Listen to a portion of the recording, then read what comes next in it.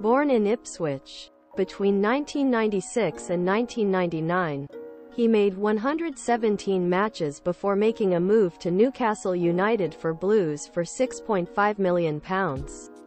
33 times the UK and West Ham.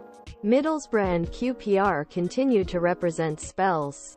Darrier has turned his hand into coaching after his retirement in 2013 and is now part of Paul Cook's backroom set in Chesterfield on the National League side.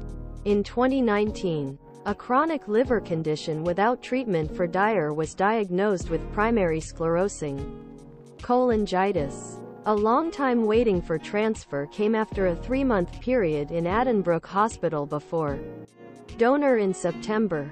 After a tiring nine-hour operation, Dyer woke up a surprise gift from Canaries despite the competition that has existed throughout his professional life and now speaking about ordeal he has recently experienced. I am I had been in the hospital for more than three months and I had to have come to see me every day. Der Dyer Daily Mail said. Kieron Dyer took action against Norwich City in February 1998. When I was in hospital, waiting for the transplant, I was lowest I was like a nightmare to deal with. They took three hours a day for the month. This unconditional love. It was very strong to erupt love from the family and friends and football world.